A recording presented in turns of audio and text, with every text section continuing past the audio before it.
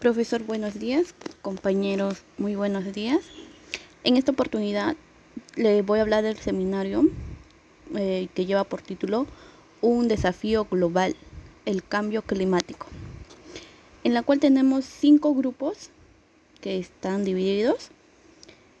Eh, el primero es el impacto, impactos y causas del cambio climático. El cambio climático tiene diversos impactos como el aumento de la temperatura global, derretimiento de glaciares y cambios en precipitaciones.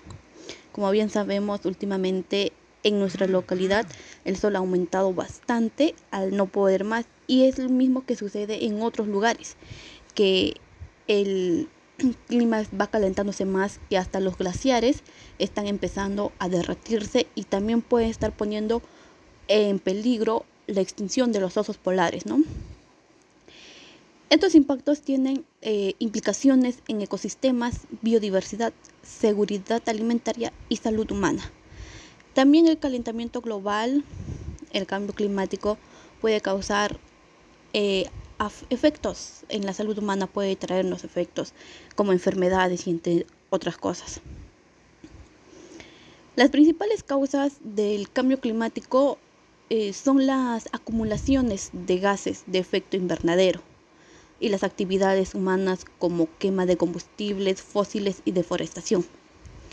El humano es prácticamente el que está destruyendo lo que es todo eh, el ecosistema y gracias a eso estamos teniendo variaciones en nuestros cambios climáticos. También lo que realiza el humano, las talas de árboles, las quemas de combustibles, eh, la contaminación al agua y entre muchas cosas. La quema de combustibles fósiles es la principal fuente de dióxido de carbono, el principal gas de efecto invernadero responsable del calentamiento global. A causa de esa quema es porque se, se obtiene más calor. Es por eso que estamos en esta situación. El impacto del cambio climático en el mundo es enorme. Sus causas fundamentales se deben a la actividad humana. Segundo punto, importancia de la acción colectiva.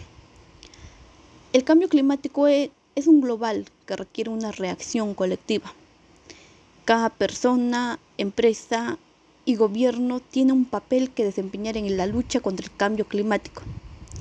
Todos tenemos responsabilidad de prevenir el cambio climático como seres humanos que habitamos este planeta, tenemos la responsabilidad de cuidar y prevenir que esto pase, porque al suceder esto también somos afectados nosotros como humanos. Las estrategias comerciales sustentables son importantes.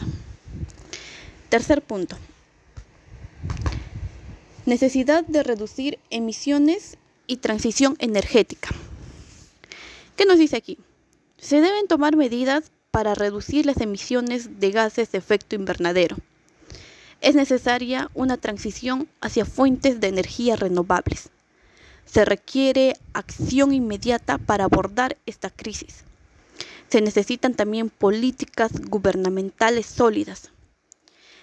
Es crucial reducir emisiones de gases de efecto invernadero de origen antropogénico.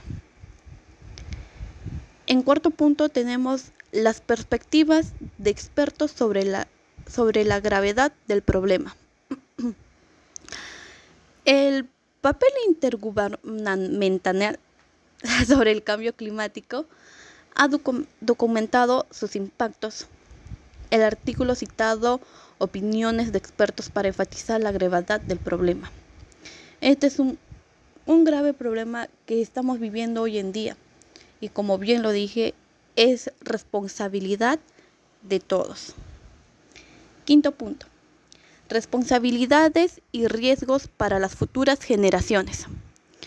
El cambio climático se ha convertido en uno de los problemas más impremiantes a los que se enfrenta nuestro planeta. Se deben adoptar opciones de consumo sostenible. El cambio climático pone en riesgo el futuro de las generaciones venideras.